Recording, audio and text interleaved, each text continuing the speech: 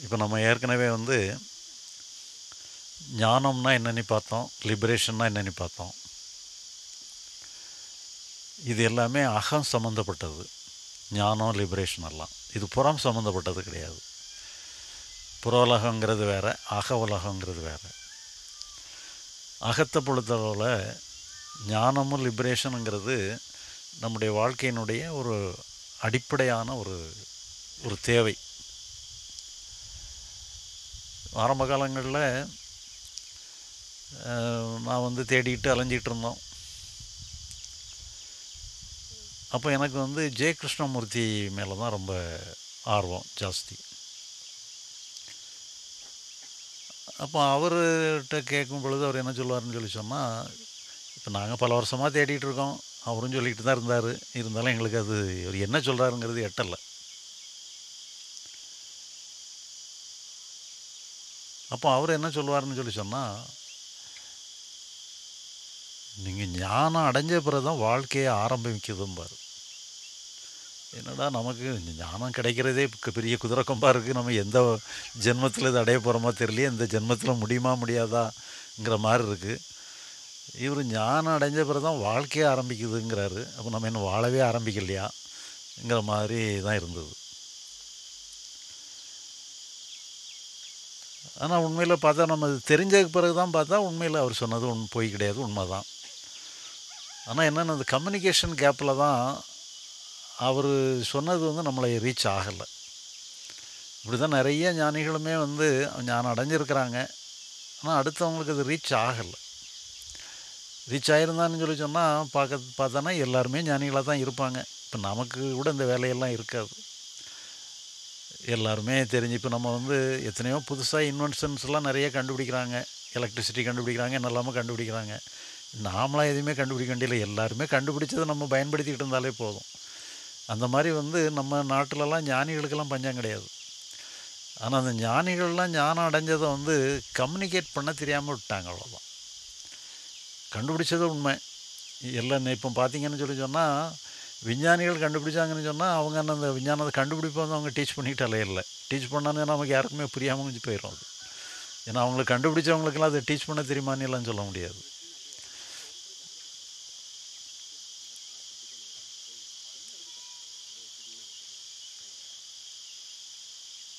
ஆனால் உண்மையில் என்னன்னு சொன்னால் எல்லாமே ஒரு சாதாரண விஷயமாக தான் இருந்திருக்கு. நம்ம வந்து அது ஒரு பிரம்மாண்டப்படுத்தி என்னதோ பிரம்மாண்டமாக அதுக்காக கடுமையாக உழைக்கணுங்கிற மாதிரி நினச்சிக்கிட்டு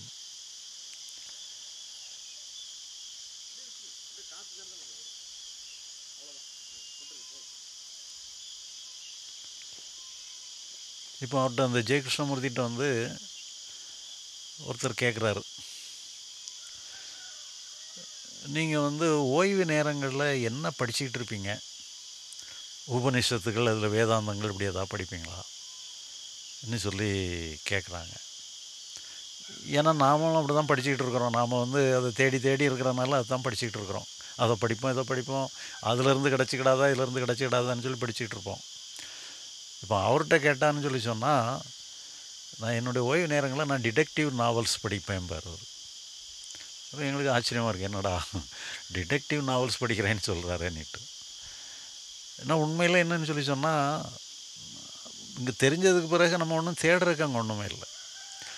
நம்ம தெரிய வேண்டியது என்னன்னே தெரியாதனால சும்மா தேடிக்கிட்டே அலைஞ்சிட்ருக்கோம் சரியாக நமக்கு என்னதாங்கிறத தெரிஞ்சுக்கிட்டோன்னு சொன்னால் ஒரு நிர்ணயம் கிடச்சிட்டுதுன்னு சொன்னால் பிறகு நீங்கள் வந்து ரெக்ரியேஷன் என்ன வேணாலும் பண்ணலாம். நீங்கள் டிவி பார்க்கலாம் என்ன வேணாலும் பண்ணலாம். பொழுதுபோக்கை பற்றி ஒன்றும் பிரச்சனை இல்லை. ஏன்னா நீங்கள் செய்ய வேலை செய்ய வேண்டிய நேரத்தை வேலை செய்கிறீங்க மற்ற நேரங்களில் ரிலாக்ஸாக என்ன வேணாலும் பண்ணலாம். அந்த மாதிரி இது வந்து ஒரு அடிப்படையான ஒரு விஷயம். இப்போ இது நம்ம வந்து கொஞ்சம் அறிவுபூர்வமாக ப்ராக்டிக்கலாக நம்ம சொன்னதுனால நிறைய பேருக்கு புரிஞ்சுக்கிடுது. புரிஞ்சவங்களுடைய வாழ்க்கை எல்லாமே ஒரு வித்தியாசமான வாழ்க்கைக்கு போயிடுறாங்க. இப்போ இந்த இது அண்டர்ஸ்டாண்டிங் ஆன பிறகு வேறு என்ன நிலைமை நடக்குது என்னங்கிறத பற்றி அதனுடைய அந்த கன்ஃபர்மேஷன் கிளாஸ் நம்ம நாளைக்கு அதான் ஃபைனல் செஷன் அதில் நம்ம இன்னும் கொஞ்சம் டீட்டெயில்ஸாக சொல்லுவோம். இப்போ இன்னைக்கு வந்து கொஞ்சம் நம்ம இதில் வந்து நிறைய இப்போ சப்போர்ட்டிவாக நிறைய டாபிக்ஸ் இருக்குது இதில். இப்போ நாங்கள் முன்னாலெல்லாம் வந்து என்னச்சுன்னா ரெண்டு நாள் முகாம் தான் வச்சு நடத்துவோம். ரெண்டு நாள் முகாமில் ஒன்றும் பெருசாக ஒன்றும் கவர் பண்ண முடியாது. அந்த இந்த அகம்புறம் இந்த அண்டர்ஸ்டாண்டிங் இதோட நிப்பாட்டிடுறது தான். அல்லது நான் யார் இப்போ நேற்று வரைக்கும் நேற்று பார்த்த டாபிக் வரைக்கும் கூட நிப்பாட்டி முடிச்சிடுவோம் வேறு எக்ஸ்ட்ராலாம் ஒன்றும் பார்க்க முடியாது. இப்போ நம்ம நாலு நாள் வச்சுருக்கறனால இன்னும் கொஞ்சம் டோட்டலாக நம்ம எது எதெல்லாம் தேவையோ அது அதெல்லாம் நம்ம பார்க்கலாம். இப்போ இன்றைக்கி வந்து முதல் டாப்பிக்காக வந்து தாட்னா என்ன திங்கிங்னா என்ன? ஏன்னா இந்த டாபிக் வந்து சொல்லப்போனால் இது வந்து ஏதோ ஒரு சந்தர்ப்பத்தில் இந்த டாப்பிக்கு என்ன அறியாமலே இந்த ஃபார்ம் ஆகிட்டுது நானெல்லாம் ஒன்றும் யோசித்து பண்ணலை. தற்செயலாக ஒருத்தருக்கு அவருடைய பிரச்சனையை தீர்க்கிறதுக்காக ஒரு ஒரு பதில் சொன்னேன். அந்த பதிலே வந்து ஒரு ஒரு பெரிய ஒரு ஒரு கான்செப்டாக மாறி போச்சுது இப்போ நிறைய பேர் என்னன்னு சொல்லி சொன்னால் இதையே ஒரு மையமாக வச்சு ஒரு பெரிய அளவில் இது பண்ணுற மாதிரி நம்முடைய நம்முடைய டீச்சிங்ஸில் உள்ள சாராம்சம் சப்ஸ்டன்ஸுங்கிற மாதிரி இது அமைஞ்சு போச்சு. அதனால் இது வந்து எல்லாருக்கும் பயனுடையதாக இருக்குது நிறையா பேருக்கு வந்து வேறு நம்மளை கான்செப்டை பற்றி ஒன்றுமே தெரியாதவங்களும் கூட இதை மட்டும் புரிஞ்சுக்கிறது ஈஸியாக இருக்குது புரிஞ்சுக்கிட்டு அவங்களுடைய பிரச்சனைகள்லேருந்து வெளியே வந்துடுறாங்க. அப்போ அந்த மாதிரி ஒரு இருக்கக்கூடிய இந்த ஒரு தாட்னா என்ன திங்கிங்னா என்னங்கிறத நம்ம கொஞ்சம் பார்க்க போகிறோம் ஒரு முறை வந்து ஒரு மதுரையில் ஒரு பேங்க் மேனேஜர் அவர் நான் நினச்சேன் அவர் கவர்மெண்ட் ஆஃபீஸரோன்னு நினச்சிக்கிட்டு இருந்தேன். பிறகு இப்போ ரீசெண்டாக தான் அவர் யார் என்னங்கிறத பற்றிய தகவலே கிடச்சிது. அவர் ஒரு பேங்க் மேனேஜர் அவர் அந்த மேனேஜர்களுக்கெல்லாம் ஒரு மீட்டிங் அதில் வந்து ஒரு சீஃப் வந்து அதில் எல்லாத்தையும் தலைமை தாங்கி மீ- அந்த மீட்டிங் நடத்துகிறாரு அதில் கலந்துக்கிட்டவங்க எல்லாம் மேனேஜர்ஸ் மட்டும்தான் பேங்க் மேனேஜர்ஸ் அந்த சு சுப்பீரியர் ஆஃபீஸர் வந்து தலைமை தாங்கி நடத்திக்கிட்டு இருக்கிறாரு. அப்போ இந்த சம்மந்தப்பட்ட அந்த பேங்க் மேனேஜர் வந்து மீட்டிங்கில் கலந்துக்கிடுறாரு. மீட்டிங் நல்லா நடந்துக்கிட்டு இருக்கு. திடீர்னு அவருடைய செல்ஃபோன் ரிங் ஆயிடுது. அப்போ தான் அவர் வந்து செல்ஃபோனை ஆஃப் பண்ணாமல் வந்துட்டோங்கிறது தெரியுது. உடனே எடுத்து ஆஃப் பண்ணிடுறாரு. ஃபோனில் எதுவும் பேசலை. ஏன்னா ஏதோ அவசரத்தில் ஒரு மீட்டிங்க்கு வரணுங்கிற அவசரத்தில் வந்திருக்கலாம். ஆனால் அந்த ப்ரெசைடிங் ஆஃபீஸர் என்ன பண்ணாருன்னு சொல்லி சொன்னால் நீ எப்படி ஃபோனை ஆஃப் பண்ணாமல் நீ மீட்டிங் அட்டன் பண்ணுவா? நான் உடனே பனிஷ்மெண்ட் ட்ரான்ஸ்ஃபர் கொடுக்குறேன்னு சொல்லி ஒரு ஊருக்கு மாற்றி போட்டுறேன். அப்போ இவருக்கு வந்து ரொம்ப மன கஷ்டம். இப்போ அவர் வந்து அந்த அந்த ஒரு மாற்றி போட்ட ஊர் வந்து நல்ல ஊர் தான். அதில் ஒன்றும் எங்கேயோ ஒன்று தண்ணி இல்லாத காட்டில் போட்டேன்னுக்கிட்டலாம் அப்படி ஒன்றும் போடலை. நல்ல ஊருக்கு தான் போட்டிருக்கிறாங்க. இருந்தாலும் ஒரு பனிஷ்மெண்ட்டாக போட்டதுனால அவருக்கு ஒரு அஃபண்டட் ஆகிட்டார் ஒரு சாதாரண விஷயம். சத்தம் போட்டு விட்டுருக்கலாம் ஒரு வான் பண்ணி விட்டுருக்கலாம் ஒரு மொமோ கொடுத்துருக்கலாம். இப்படி ட்ரான்ஸ்ஃபர் பண்ணுறதுல என்ன இருக்குது நீட்டு சொல்லி அதை நினச்சி நினச்சி அவருக்கு வேதனை. ராத்திரி படுத்தா தூக்கம் வரல. சாப்பிட உட்காந்தா சாப்பிட முடியல. இப்படியே வந்து மூணு நாலு நாளாக தடுமாறிட்டு இருக்கிறாரு. அப்போ அவர் அவருடைய நண்பர் மூலமாக என்னுடைய தொடர்பு கொண்டு என்ன இதிலேருந்து எப்படி வெளியே வர்றதுங்கிறத கேட்குறாங்க. இப்போ அப்போ தான் வந்து முதல் முதல்ல அந்த தாட் அண்ட் திங்கிங்கிற வார்த்தை அந்த பதப்பிரயோகம் எல்லாமே அப்போ தான் ஏற்பட்டது. இப்போ இந்த மாதிரி ஒரு அசம்பாவிதமான ஒரு சம்பவம் நடந்துருது. அதை பற்றிய சிந்தனை நமக்கு நம்மளறியாமலே வந்துகிட்டு இருக்குது நம்ம இந்த இது தேவையில்லாத சிந்தனை தேவையில்லாமல் வந்து நம்மளை தொந்தரவு பண்ணுது.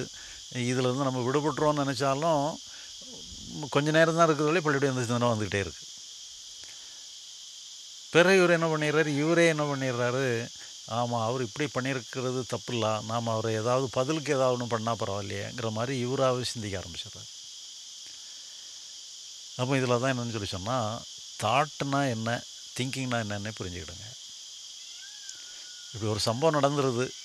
அப்போ அது சம்மந்தமான தாட் வந்து அலையலையாக வரத்தான் செய்யும். ஒரு நல்ல சம்பவம் நடந்தாலும் சரி மோசமான சம்பவம் நடந்தாலும் சரி நம்மளை பாதிக்கிற மாதிரி எந்த சம்பவம் நடந்தாலும் அது சம்பந்தமான சிந்தனை ஏற்படுறது அலையலையாக ஏற்பட்டுக்கிட்டு தான் இருக்கும். அதுதான் இயற்கை. ஆனால் அந்த அலைகள் வந்து கொஞ்சம் கொஞ்சமாக அப்படி மெல்ல மெல்ல குறைஞ்சி போயிடும். ஆனால் நாம் அப்படி வந்த தானாக வந்த சிந்தனை மேலே நாம் ஏறி சவாரி பண்ணி இவன் இப்படி பண்ணால் இப்படி பண்ண தப்பு இப்படி பண்ணால் தான் சரின்னு சொல்லி நாம் அதை டைரெக்ஷன் கொடுக்க ஆரம்பிச்சிட்டோம்னு சொன்னால் அதுக்கு பேர் தான் திங்கிங் அப்போ நாமளாக கான்சியஸாக அது மேலே ஏறி சவாரி பண்ணி அதை செலுத்த ஆரம்பிச்சிட்டோம்னு சொல்லி சொன்னால் அந்த தாட் வந்து திங்கிங்காக மாறிடும். இப்போ தாட் வந்து வந்ததெல்லாம் அப்படி அப்படியே மறைஞ்சு போயிடும் ஆனால் திங்கிங்காக மாறிட்டோம்னு சொல்லி சொன்னால் நம்முடைய கான்ட்ரிபியூஷன் அங்கே வந்துடுது அப்போ நம்முடைய கான்ட்ரிபியூஷன் அங்கே வந்த உடனே என்ன ஆகுதுன்னு சொன்னால் அது இன்னும் கொஞ்சம் பலம் பெற ஆரம்பிச்சிடும் அப்படி பலம் பெற ஆரம்பிச்ச பிறகு கொஞ்சம் நேரம் தாட்டாக வருது கொஞ்சம் நேரம் திங்கிங்காக வருது. தாட்டும் திங்கிங்கும் மாறி மாறி வந்து என்ன ஆயிருன்னு சொன்னால் நம்மளை வந்து ஒரு பெரிய சுழலுக்குள்ளே மாட்டி வச்சிருது. இப்போ நமக்கு வந்து தாட்டுக்கும் திங்கிங்க்கும் வித்தியாசம் இல்லைங்கிற மாதிரி ஆகி நம்ம என்ன நினைக்கிறோம்னு சொன்னால் திங்கிங் கூட நாமளறியாமல் தான் வருதுங்கிற மாதிரி நம்ம எண்ணம் வந்துடுது ஏன்னா எல்லாமே தானாகவே நடக்கிற மாதிரி நாம் ஒன்றும் திங்க் பண்ணலை அதுவாக வந்து அந்த பிரச்சனையிலேருந்து அப்படி உண்மையிலே என்னென்னு சொன்னால் எல்லாமே தாட் மாதிரி தான் நமக்கு தருது திங்கிங் மாதிரி ஒன்றும் தெரில. எல்லாமே ஒரே அம்சமாக இருந்து தானாகவே எல்லாமே நடந்துக்கிட்டு இருக்கு. நம்மளை தானாகவே இந்த மாதிரி ஆட்டி படைக்குதுங்கிற மாதிரி ஒரு எண்ணத்தில் வந்துடுறாங்க. ஆனால் உண்மையில் என்னென்னு சொல்லி சொன்னால் தானாக வர்றது டுவெண்ட்டி ஃபைவ் பர்சன்ட் தான். எழுபத்தஞ்சி சதவீதம் நாம் தான் அதை வந்து ஆட்டி படைக்கிறோம். இப்போ இதே மாதிரி தான் ஒருத்தர் இந்த ம- விபாசனா பண்ணக்கூடிய ஒரு மாஸ்டர் ஒருத்தர் அங்கேருந்து நான் வந்திருந்தார் ஹைதராபாத்லேருந்து வந்திருந்தார் அவர் ஒரு ஸ்டேட்மெண்ட் சொன்னார் நல்லா அவர் ரசிக்கிற மாதிரி சொன்னார் இந்த தாட் அண்ட் திங்கிங்கை படித்த பிறகு தான் எனக்கு புரிஞ்சுது நான் இவ்வளோ நாளும் அந்த தாட்டு தான் வந்து என்னை தொந்தரவு பண்ணிக்கிட்டே இருந்துன்னு நினச்சேன் இப்போ தான் தெரியுது நான் தான் அதை தொந்தரவு பண்ணிகிட்டு இருந்திருக்கிறேன்னு தெரியுது இன்னும் சொன்னார் அந்த மாதிரி உண்மையில் என்னன்னு சொல்லி சொன்னால் தாட் வந்து வெறும் டுவெண்ட்டி ஃபைவ் பர்சன்ட் தான் வருது அந்த திங்கிங் தான் வந்து செவன்ட்டி ஃபைவ் பர்சன்ட்டில் இருந்துக்கிட்டு பிறகு நமக்கு வந்து எது தாட்டு எதுவுமே திங்கிங்டே தெரிய முடியாத அப்படி ஒரு கன்ஃபியூஷனில் கொண்டு விட்டுருது பிறகு நாம் என்ன பண்ணோம்னா அப்போ பிரச்சனை வந்து நம்மளை விட்டு போகலை. பிரச்சனை இழுத்துக்கிட்டே போயிட்டுருக்குங்கிற மாதிரி ஒரு ஃபீலிங்கில் கொண்டு விட்டுருது அப்போ உண்மையிலே வந்து நீங்கள் தாட்டுனா என்ன திங்கிங்னா என்னன்னு புரிஞ்சுக்கிடுங்க. நீங்களே ஏறி சவாரி பண்ணுறதை விட்டுருங்க. சப்போஸ் உங்களை உங்களை அறியாமல் சவாரி பண்ணிட்டாலும் எப்போ சவாரி பண்ணுறோன்னு தெரிஞ்சதோ அப்போ கீழே இறங்கிருங்க. நீங்களாக அதை கான்ட்ரிபியூட் பண்ணாங்க. அதுவாக வந்துட்டு போட்டோம். அது ஆயிரம் தடவை வேணாலும் அதுவாக தாட்டு வந்துட்டு போட்டோம். அதுவாக வந்த தாட்டுன்னு சொன்னால் அதுவாகவே போயிடும் அதை பற்றி நம்ம ஒரி பண்ண வேண்டிய அவசியம் இல்லை. இன்னும் சொன்ன பிறகு அவர் அந்த ப்ராப்ளத்துலேருந்து ரிலீவ் ஆனார். இப்போ இதே மாதிரி தான் ஒரு கோயம்புத்தூருக்கு போயிருந்த டைம் அது. அப்போ அங்கே ஒரு ஒரு டாக்டருடைய ஒரு டாக்டர் தம்பதியினர். ஒரு க கணவன் வந்து டாக்டர் மனைவி வந்து ஒய்ஃபு ரெண்டு பேரும் வந்திருந்தாங்க. இப்போ அவங்களுடைய பிரச்சனை வந்து சொல்லப்போனால் இதோட கூட கொஞ்சம் பெரிய கொடுமையான பிரச்சனை தான். அவங்களுடையது என்னன்னு சொல்லி சொன்னால் அவங்களுக்கு வந்து ஒரே குழந்தை தான். அது ஒன்றரை வயசில் தவறி போயிடுது இவங்க இவங்களுக்கு அந்த டாக்டர் வந்து அவங்க அந்த குழந்தை இறந்து ஒரு ஆறு மாதம் கழித்து என்னை சந்திக்கிறாங்க. இப்போ அந்த டாக்டர் என்ன சொல்கிறாருன்னு சொன்னால் இது எங்கள் குடும்பத்தில் நடந்த ஒரு கொடுமையான சம்பவம். நான் நான் எப்படியோ நான் மேனேஜ் பண்ணி நான் அதிலேருந்து வெளியே வந்துட்டேன். ஆனால் என்னுடைய மனைவியால் அதிலேருந்து வெளியே வரவே முடியல. அவங்க அதையே நினச்சிக்கிட்டு கடும்பாடு பட்டுக்கிட்டு இருக்கிறாங்க. அவங்களுக்கு வந்து உடல் ரீதியாகவும் மனோ ரீதியாகவும் நிறைய பிரச்சனைகள் உருவாக ஆரம்பிச்சிட்டு. இப்போ அவங்களுமே ஒரு பேஷண்ட்டாக மாறி அவங்களுமே ட்ரீட்மெண்ட்டு போகிற அளவுக்கு ஆயிட்டாங்க. இப்போ இந்த பிரச்சனையிலேருந்து எப்படி நாங்கள் வெளியே வர்றதுன்னு சொல்லி கேட்டேன் இப்போ அவங்களுக்கும் இதே ஆலோசனை தான். பிரச்சனை வேறு வேறையாக இருக்கலாம். ஆனால் ஆலோசனை ஒன்று தான். தாட்டுனா என்ன திங்கிங்னா என்னன்னு புரிஞ்சுக்கிடுங்க. இப்போ இது வந்து சாதாரண விஷயம் இல்லை கொடுமையான விஷயந்தான் அதை பற்றி தாட்டு வரத்தான் செய்யும். தாட்டே வராமல் நம்ம நிம்மதியாக இருப்போன்னு எல்லாம் நினைக்க முடியாது. தாட்டு வரத்தான் செய்யும். ஆனால் வந்த தாட்டு என்னன்னு சொன்னால் வந்த தாட்டு வந்த மாதிரியே போயிடும் புதுசு புதுசாக தான் வரும். வரும் போயிடும் வரும் போயிடுங்கிற மாதிரி தான் இருக்கும். ஆனால் நீ நாம் என்ன பண்ணிடுறோம்னு சொன்னால் வந்த தாட்டு மேலே ஏறி சவாரி பண்ண ஆரம்பிச்சிடும் ஏதோ ஒரு காரணம் சொல்லிடுறோம். நாம் இப்படி பண்ணியிருந்தா பிழைச்சிருக்கலாமே. இப்படி பண்ணியிருந்தா இன்னும் கொஞ்சம் அதை ஏதோ ஒரு வகையில் ட்ரீட்மெண்ட்டில் சரி பண்ணியிருக்கலாமே. அல்லது நாம் ஏதோ ஒரு தப்பு பண்ணிட்டோமோ? இப்படி பண்ணியிருந்தா சரியாக இருந்திருக்குமோ? அல்லது அந்த டாக்டரை பார்த்துருக்கலாமா? இந்த டாக்டரை பார்த்துருக்கலாமா? அல்லது வேறு ஏதாவது ஒரு ட்ரீட்மெண்ட்டுக்கு போயிருக்கலாமா. இப்படி ஏதாவது ஒன்று சொல்லி நாம் அதை கான்ட்ரிபியூட் பண்ணிடுறோம் பிறகு நமக்கு அந்த அந்த துயரம் நமக்கு ஏற்படும் பொழுது ஆமாம் நம்ம குழந்தைய இறந்ததுக்கு நாம் வருத்தப்படாமல் யார் வருத்தப்படுவா? வருத்தப்படுறது கூட கரெக்டு தானே. நீ சொல்லி நாம் நம்ம தரப்பில் ஏதோ ஒரு வகையில் கான்ட்ரிபியூட் பண்ணிடுறோம். அப்படி நம்ம தரப்பில் கான்ட்ரிபியூட் பண்ணும்பொழுது என்ன ஆயிருன்னு சொன்னால் தானாக வந்து தாட்டு மேலே ஏறி நம்முடைய கான்ட்ரிபியூஷன் வரும் பொழுது அது ஒரு சுழலாக மாறிடுது. அப்புறம் அந்த சுழலாக மாறும் பொழுது அதுக்கப்புறம் என்ன தெரியுதுன்னு சொன்னால் அந்த பிரச்சனை தான் வந்து நம்மளை வந்து ஆட்டி படைக்குதுங்கிற ஃபீலிங் தான் இருக்க ஒழிய நாம் அதை ஆட்டி படைக்கிறோங்கிற ஃபீலிங் நமக்கு இல்லாமல் போயிடும். அந்த பிரச்சனை ஏதோ ஒன்று நம்ம நடந்து போச்சு நடந்த பிரச்சனை என்னை விட்டு போக மாட்டேங்குதுன்னு சொல்லி அந்த பிரச்சனை மேலே நம்ம பழிய போடுற மாதிரி அதை பற்றிய சிந்தனை வந்து என்னை தொந்தரவு பண்ணுதுங்கிற மாதிரி நம்ம பிஹேவ் பண்ணிடுறோம். உண்மையில் இது எல்லாமே twenty seven twenty five percent தான். செவன்ட்டி ஃபைவ் பர்சன்ட் நம்முடைய கான்ட்ரிபியூஷன் அதில் இருக்குது யாருக்குமே எடுத்த இடத்துல பார்த்தா அந்த ரெண்டு கேப்பே தெரியாது நமக்கு. அங்கே எல்லாமே தானாகவே நடக்கிற மாதிரி தான் தெரியும். ஆனால் உண்மையிலே நீங்கள் அதை நடக்கிறத நீங்கள் கவனித்து பார்த்தீங்கன்னு சொன்னால் உங்களுடைய கான்ட்ரிபியூஷனால தான் அந்த பிரச்சனையே ஓடிட்டு இருக்குங்கிறது தெரியும். அப்போ நம்முடைய கான்ட்ரிபியூஷனை நம்ம வந்து நிப்பாட்டிட்டோம்னு சொன்னால் அது அப்படியே மெல்ல மெல்ல நம்மளை விட்டு போக ஆரம்பிச்சிடும் அது அப்படியே இதாயிரும். இப்போ இது வந்து பிறகு இந்த இதுன்னு தெரிஞ்சதுக்கு பிறகு நிறையா பேருக்கு சொன்னதுக்கு பிறகு நிறையா பேர் வந்து அந்த ப்ராப்ளத்தை இப்போ நிறையா பேர் வந்து யூடியூப்களில் அதுகளில் இதுகளில் பார்க்குறாங்க பார்த்துக்கிட்டு அவங்களாவே அந்த ப்ராப்ளங்கிறது விடுபட்டுறாங்க. சிலவங்க ஏதோ ஒரு வருஷத்துக்கு அப்புறம் கூட சிலவங்க ஃபோன் பண்ணி சொல்கிறாங்க இப்படி நாங்கள் விடுபட்டுட்டோம்னுட்டு சொல்கிறாங்க ஆனால் இது வந்து வேலை செய்யுது. அந்த அந்த தாட் அண்ட் திங்கிங்னா கான்செப்டை புரிஞ்சுக்கிட்டோன்னு சொன்னால் அது ப்ராக்டிக்கலாகவே அது வேலை செய்யுது. அதனால் இந்த தாட்னா என்ன திங்கிங்னா என்னங்கிறத புரிஞ்சுக்கிட வேண்டியது இது ஒரு இதுதான். இது வந்து நம்ம ஏற்கனவே தெரிஞ்சுக்கிட்ட கான்செப்டில் இது அந்த தாட் அண்ட் திங்கிங்னா என்னங்கிற பேரை சொல்லி சொல்கிறதுனால டைரெக்டாக நம்முடைய பிரச்சனைக்கு அது அப்ளிகபிள் ஆகுது. அதனால் வேறு இது வந்து ஒரு ப்ராக்டிக்கல் அப்ளிகேஷன் தான். நம்ம மெயின் சப்ஜெக்ட் வந்து ஒரு அப்ளைடு சயின்ஸாக அப்ளைடு தியரியாக மாறிடுது அவ்வளோ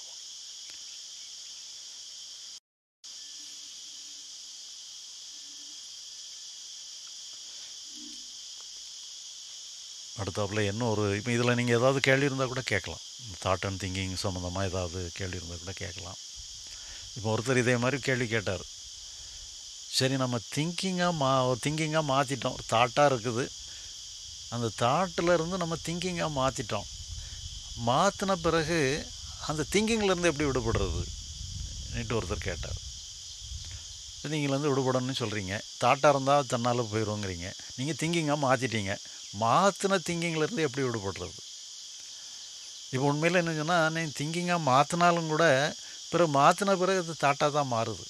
அதனால் எந்த திங்கிங்குமே அந்த திங்கிங்கும் நிற்காது வருவார வரும்போது தான் நீங்கள் அதை திங்கிங்காக கொண்டு வரீங்க. வந்ததுக்கு பிறகு அதுவும் தாட்டாக தான் மாறி போயிடுது அதனால் அதுவும் போயிடும் அது. அப்புறம் அதுக்கு பிறகு நீங்கள் ஃபர்தராக நீங்கள் வந்து இன்னொரு திங்கிங் மூலமாக தான் திங்கிங் உருவாக்குவீங்களே வந்த திங்கிங் மூலமாக திங்கிங் வந்து கண்டினியூ ஆகாது.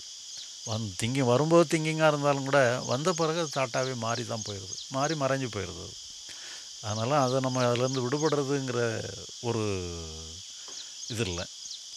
இப்போ அதே மாதிரி போன தடவை நாங்கள் ஒரு முகாம் நடத்தும்போது ஒருத்தர் கேள்வி கேட்டார்.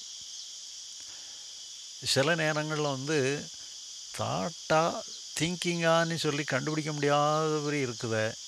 அப்போ அது வந்து தாட்டு தானா திங்கிங் தானா எப்படின்னு சொல்லி எப்படி நம்ம நிர்ணயம் பண்ணிக்கிடுறதுன்னு சொல்லி ஒரு கேள்வி கேட்டார். ஆ? நினச்சிங்களா? அது எனக்கு தெரிஞ்சிட்டது. அந்த தாட் அண்ட் திங்கிங்கிற இது வந்து தாட்டா திங்கிங்கா இல்லையான்னுட்டு சொல்லி நமக்கே டவுட் வந்துன்னு சொன்னால் அதை நீங்கள் தாட்டாகவே எடுத்துக்கிடுங்க. திங்கிங்கிட்டு எடுக்க வேண்டாம். உங்களுக்கு நிச்சயமாக இது திங்கிங் தானே தெரிஞ்சால் மட்டும் திங்கிங்னு எடுத்தால் போதும்.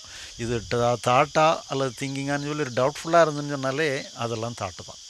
அது ஏன்னா உங்களை உங்களுக்கு தெரில உங்களை அறியாமல் வருது. அதே அர்த்தம் என்னன்னு சொன்னால் உங்களை அறியாமல் தான் நடக்குங்கிறது தான் அர்த்தம். அதனால் அதை வந்து தாட்டு நீழி எடுத்துக்கிடுங்கிறது வேறையும் ஏதாவது கேள்விகள் நான் கண்டுபிடிக்கிறதுக்குனாலும் நீங்களே கண்டு சொல்லிடுங்க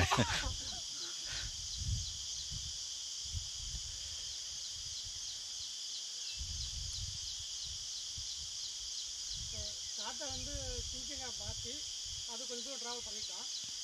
கொஞ்சம் தூரம் ட்ராவல் பண்ணுறதுக்கப்புறம் நம்ம திருப்பி பாயிண்ட் பண்ணுறோம் ஓ நம்ம காட்டை திங்கிங்காக மாற்றிட்டோம் அப்படி பாயிண்ட் பண்ணுறது ஒரு திங்கிங் தான்.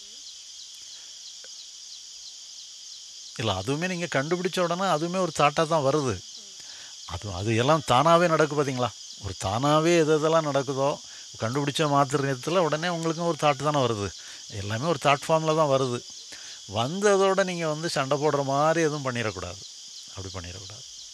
ரெண்டாவது என்னன்னு சொல்லி சொன்னால் இந்த தாட் அண்ட் திங்கிங் ப்ராசஸ் வந்து சிலவங்க இப்படி ஒரு கேள்வி கேட்டுறாங்க. எப்பவும் ஏதாவது திங்கிங் இருந்துகிட்டு தானே இருக்குது சில நேரங்கள் அப்படி நம்ம தாட் இருக்கிற மாதிரி சில நேரங்களில் திங்கிங்காகவே இருந்து வந்துக்கிட்டு இருக்க. அப்போ திங்கிங்காக எதுவுமே மாற்றக்கூடாதான்னு சொல்லி கேட்டுக்கிட்டு இருந்தாங்க. இப்போ உண்மையில் என்னென்னு சொன்னால் உங்களுக்கு ப்ராப்ளமான நேரங்களில் மட்டும்தான் இந்த தியரி நீங்கள் அப்ளை பண்ணணும். சப்போஸ் ஏதாவது ஒரு சம்பவம் நடந்து போயிருது. அப்போ அது சம்மந்தமாக உங்களுக்கு வேண் நீங்கள் வேண்டான்னு நினச்சாலும் உங்களை மீறி தாட்டு வந்துகிட்ருக்கு அந்த நேரத்தில் தான் வந்து தாட் அண்ட் திங்கிங் ஃபிலாசபியை நீங்கள் அப்ளை பண்ணி பார்க்கணும். தேவையில்லாமல் நம்மளை வந்து தொந்தரவு பண்ணுதுங்கும்போது நீங்களாக கான்ட்ரிபியூட் பண்ணுறது விட்டுறணும். சும்மா சாதாரணமாக ஒரு வேலையும் இல்லை சும்மா உட்காந்துட்டீங்க ஏதோ ஒரு தாட்டு வந்துட்டுருக்குன்னு சொன்னால் அது தாட்டு வந்தாலும் சரி திங்கிங் வந்தாலும் சரி எதுனாலும் ஒன்று தான். அதில் ஒரு திங்கிங் வந்துட்டு தானே இல்லைன்னா நம்ம ஒன்றும் தாட்டு வந்தால் பரவாயில்ல திங்கிங் வரக்கூடாதுன்னு எல்லாம் நீங்கள் ஒன்றும் ரெஸ்ட்ரிக்ட் பண்ணிகிட்டு இருக்க வேண்டியதில்லை. நீங்கள் ஏன்னா அங்கே ஒன்றும் ப்ராப்ளம் கிடையாது. ஒரு ப்ராப்ளம் இல்லாமல் சும்மா இருக்கும்போது கேஷுவலாக ஏதோ தாட் வருது திங்கிங் வருதுன்னு சொல்லி சொன்னால் அது ஒரு மேட்டர் இல்லை. ஒரு ப்ராப்ளமேட்டிக்கான ஒரு சந்தர்ப்பத்தில் அந்த ப்ராப்ளத்தை அக்ரவேட் பண்ணுற மாதிரி இந்த மாதிரி தாட் அண்ட் திங்கிங் வர்றது இது வேண்டாம். இப்போ அதுவுமே என்னென்னு சொன்னால் இந்த தாட் அண்ட் திங்கிங்கிறது சைக்கலாஜிக்கல் ப்ராப்ளத்துக்கு மட்டும்தான். அது ஃபிசிக்கல் ப்ராப்ளமாக இருக்கும் அப்புறம் அதை பற்றிய நினைவுகள் உங்களுக்கு தொடர்ந்துக்கிட்டே இருக்கும். சப்போஸ் இப்போ நீங்கள் வந்து வெளியே ஏதாவது வேலையை செய்யணும். அந்த பிரச்சனை சம்மந்தமாக கூட வேலை செய்ய வேண்டியிருக்கலாம். அப்படின்னா திங்க் பண்ணி தான் ஆகணும். அதே நேரத்தில் வெ- வெளியே உள்ள எல்லா வேலைகளுக்குமே நம்ம திங்கிங் கண்டிப்பாக அவசியம். வெறும் தாட் வந்து தானாக வந்தால் வந்துட்டு போட்டுன்னு நினைக்கக்கூடாது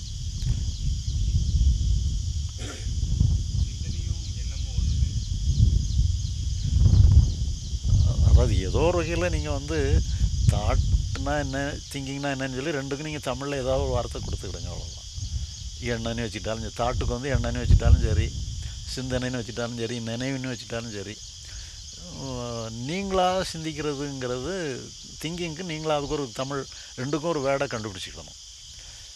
இப்போ சிந்தனைங்கும் பொழுது சில நேரங்களில் அது ஒரு வெர்பாகவும் இருக்குது நவுனாகவும் இருக்குங்கிற மாதிரி வந்துடுது ஒரு வெர்பாக இருக்கணும். இப்போ திங்கிங்கிறது ஒரு வெர்பு தாட்டுங்கிறது வந்து நவுன்கிற மாதிரி. அப்படியே அந்த மாதிரி நீங்கள் ஃபார்ம் பண்ணிக்கணும்.